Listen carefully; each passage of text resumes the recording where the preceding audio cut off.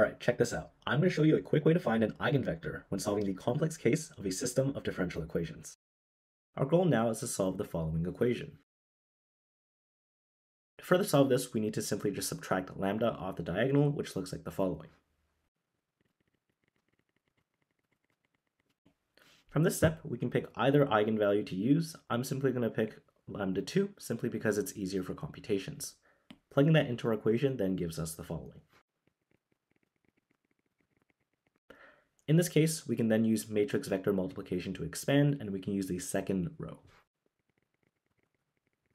Here, for simplicity, we simply again need to just pick two values for v1 and v2, one each, uh, that satisfy the equation. In this case, I'm going to pick v2 equal to 1 first. And then that leaves our equation to be v1 plus 2i is equal to 0, meaning v1 has to be negative 2i. And that right there is your eigenvector.